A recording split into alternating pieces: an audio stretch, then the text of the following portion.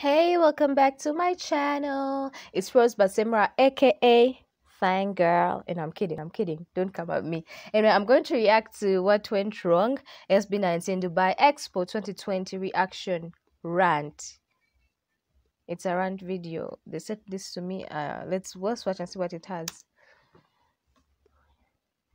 If you want to support me, become a member or donate. Thanks. Casual Chakis. This is what we expected.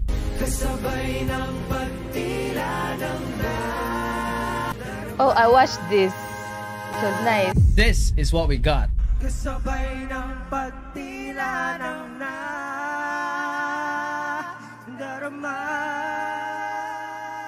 This was supposed to be the world stage.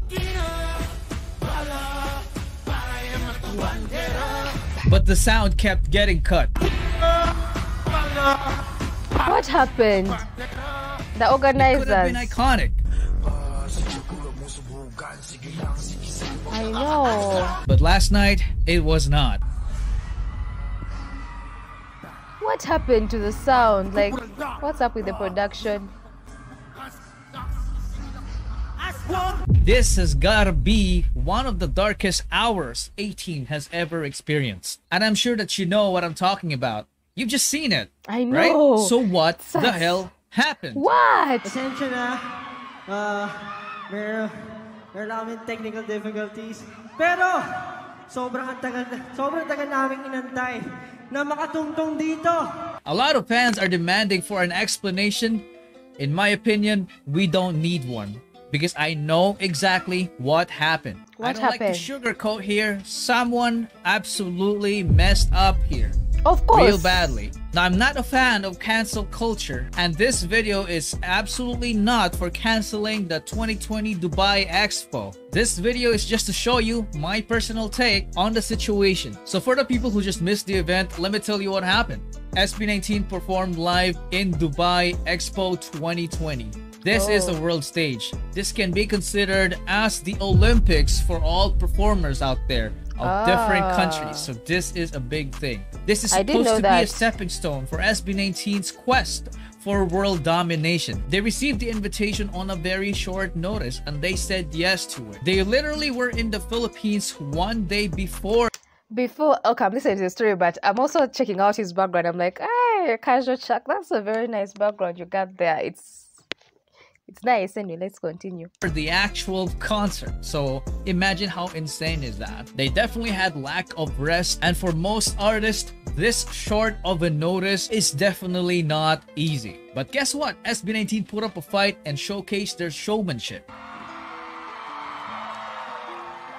But the problem was that the technical side of things The weren't technicality. really cooperating. Exactly. Pag-asa, turuan mo. The only member I can hear clearly was Josh. I could hear Stell, but his volume is a little bit too low. And the other three, their mics were just having issues, man. Uh, like totally off. Yon. Ready na ba kayo? Oh, shiz. Mahina, mahina. What's the It technical was definitely team? a cringe fest for me. Kasabay ng pagtila oh, ng Oh God, it's so nice. The 18. They sounded like that because they didn't even have in-ear monitors, so they couldn't hear themselves. And considering how loud the speaker was, and most especially the audience, there's definitely a tendency that the voice would become tone deaf. You can even notice Stell trying so hard to cover one of his ears just to hear himself sing. And the missing in-ear monitor just made their tempo even worse. There were times that it felt like they weren't even in sync with the tempo. So, let me go ahead and rip the band-aid for you and tell you the bad result out of this unfortunate event. Because of this incident, haters now have a proof or what we call recibo of SB19's bad performance. For fans like us, we know the story. We, we know what was happening. You know, this um I I, I actually uh, as a new fan of of SB19, I've, I've, I didn't see this on a fan, I didn't know about this. Thank you for bringing this this uh, uh performance to my notice. Um, this happens. it has happened to a lot of artists, big artists. At least one out of five big artists has a bad day. Even Adele herself, there's a time she she I think she had vocal problems or something, but she still forced herself to perform, and she sounded a bit off. But she's a very good artist. We all know that. Because people be like, "Oh, she cannot sing," or "You see, the, this performance is so bad." What what? You know, a lot of people have that thing, that tendency of like, there's one bad performance and then they forget about all the millions of good performances. Everyone has a bad day. It might be your voice is destroyed. It might be part of the technical part of aspects. It might be anything from health to technical issues to just a bad day. I'm a basketball player. I know there are days where you miss a simple freaking layup with no defense. You miss all the shots. You miss all the free throws. You miss all the attempts. Everything it's not because you're a bad player. The other days you just shine. You can even close your eyes and throw the ball and it goes into the hoop. But they're just those bad days. Eh, no one is perfect. Nothing will always go the way you want it to go. Even though they say they have bad receipts, like I don't think that even should bother anyone. It shouldn't bother us 18. It shouldn't bother SB 19 because let's just talk reality. Everyone has a everyone has had a bad day here and here. Even though you're like an expert in a certain field, you're not always good 100%. It might not even be your fault that, okay, for example, right now I'm reacting, um, my, my laptop battery is dead and maybe electricity goes as well. Maybe I'm in the middle of a show. Maybe I was live streaming and everything cuts out. My phone, my laptop, everything just, maybe I was using my laptop to go live and it cuts out.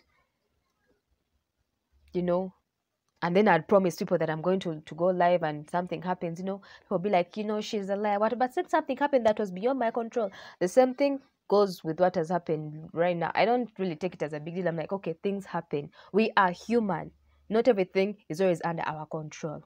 Simple, move on. Whoever has receipts, push them up your ass behind the scenes, but how will it look like to casual viewers? They don't care about what's happening behind the scene. They will only care about the finished product. So that True. absolutely is bad. No sugarcoating, guys. It is. Whoever fucks up behind the scenes, the scapegoat will always going to be the main artist. Obviously. That's why the common denominators when it comes to people who organize events is that these people tend to be perfectionists. They care about the littlest things because they just can't afford to mess up. And if a mess up happens, it's the artist that suffers. And it might have not synced in yet for most people, but it will soon. I'm sorry to break it up to you guys and this is what ultimately makes me sad. But out of all those negative things that happened, there is a silver lining. SB19 was able to showcase their professionalism. As you can notice, they were able to conduct the show must go on attitude and they were able to pull it I off. know. So they, kudos to yeah, SB19. Kudos, They're definitely mature down. and this is just another part of their growth as an artist. And another good thing that happened here is that they have learned one of the hardest lessons ever. And the first one is to learn to say no. Some invitations, some events might be so tempting that you look bad if you turn it down, but sometimes you just had to for the greater good. This definitely was obviously rushed, but it only proves the famous quote that says, Timing is everything. But what happened, happened. We can't do anything happened. about it. The only thing we can do is focus on the future. In order for this to be prevented in the future, the management should become more strict when it comes to short notice invitations. They have to list a few requirements before they say yes. For example, the most fundamental things rehearsal, sound check, voice rest, and equipment calibration. These things need to be guaranteed before 100%. they can even start negotiating. If one of these are missing, I mean, you can't just afford to let your artist perform and risk hell to break loose anytime. You guys get me, right? And I would assume that they were not able to consider those things. Maybe because they don't have the person who is able to do it. Like a quality assurance person. They should have a person that goes on the site, checks out the equipment, the stage, the arrangement, everything. And if it passes the standards, then they can say yes. They have to have that person who can guarantee that failure is never gonna happen before they can say yes to an invitation. Because I'm absolutely sure that bigger artists have this type of person. And also, the other lesson is something that we 18 have to learn. Mm. We have to be patient. I have been seeing a lot of bashing in social media blaming ShowBT for being so slow when it comes to world domination. You know, the rollout of things have been so slow that, you know, SB19 is missing out on something. Man, we have to trust the process. Trust the it's not process. an overnight thing. Not Rome wasn't because there is an event going on, they have to be there already. There are many factors that needs to align before something is made possible. So we have to learn to be patient. Let's not pressure the management. Sometimes people think that they know what's best Patience for SB19, is a but, but there are also times that we don't know we are already crossing the line. We are fans and our job is to appreciate them. Because if we keep on doing that, the boys are able to see it. They also have social media. They'll see our tweets, guys. And what is that gonna make them feel? It's definitely gonna put a lot of pressure in them. That's something that we don't want to happen. I know last night was definitely one of the darkest nights we've ever had as a fandom. But SB19 definitely knew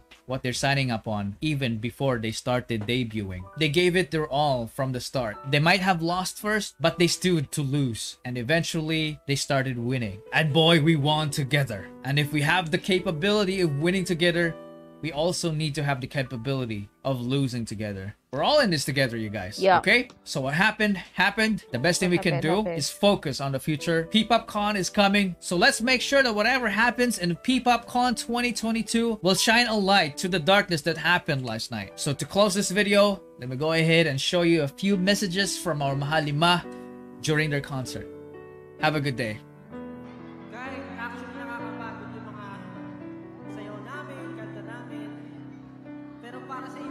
Hindi kami mapapagod! Mahal na mahal namin kayo! At aaminin namin na kayo yung dahilan kung bakit kahit nasa pandemic kami, nagtuloy-tuloy yung buhay ng SB19. Dahil yun sa inyo. Una po nirelease namin yung Tila Luha. Wala pa masyadong nakikinig sa amin, parang anim. Alam, alam mo, tama yung sinasabi mo, Josh. Dati, anim lang yung nanonood sa atin. Pero ngayon, minultiply na sa tatlo. 18 na ngayon. Justin. Um, UAE Dubai Expo 2020. Maraming maraming salamat po sa opportunity for us to meet our beloved 18. Uh, this is one of I had a bunch of the friends that were there for the Dubai Expo no matter what meanwhile. happens. Kahit nabiglaan pa yan, Lucky them. we will take this opportunity kasi talagang kayo yung gusto namin pasalamatan. Ah, grabe yung suporta niyo sa grupo namin. Ah, maraming maraming salamat po sa inyo lahat. Nung una po, sa totoo lang, akala namin, hindi po talaga matutuloy kasi sobrang biglaan. Pero feeling ko, sikat talaga yung gumawa ng paraan para makarating kami dito. Kaya, kasi siguro ito na rin yung way ni God para ma- mas mapakita pa sa amin na marami talagang tao naniniwala at nagsusuporta sa amin. They're good with words. Kaya thank you guys for believing in us, for loving us, and always supporting our group. Huwag po kayong mag-alala kasi hanggat nandyan po kayo, mananatili pong buo yung grupo namin. Kaya maraming maraming salamat sa inyo. And again, we would like to thank Dubai Expo for this. Dahil po sa inyo, nagkatotoo ang lahat ng ito. Ken, nagsabi ka, um, sabay sabihin. Okay. Hindi nagsasalita eh.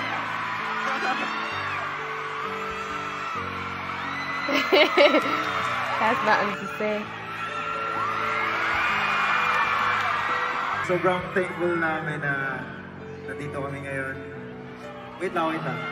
Ah, ayun, gusto ko na sabihin sa inyo na ah, mahal na mahal namin kayo and ah, sobrang i-treasure namin kayo kasi ah, without you guys, ah, hindi magiging posible lahat ng to. And ulit-ulit namin sinabi sa inyo na kayo yung naging lakas namin. But today, ah, napatunayan namin na Ah, gusto talaga namin pumunta dito pa, para na makapag-perform kasi gusto din namin kayong makita. Maraming maraming salamat po sa inyong lahat. Napangako po namin na babalik kami para makita namin kayo. ulit. Maraming maraming maraming salamat po. Mahal po namin kayo. Dito na po nagtatapos ang aming performance. This has been SB19! Maraming salamat po! Bye-bye! Salamat! Hey! I like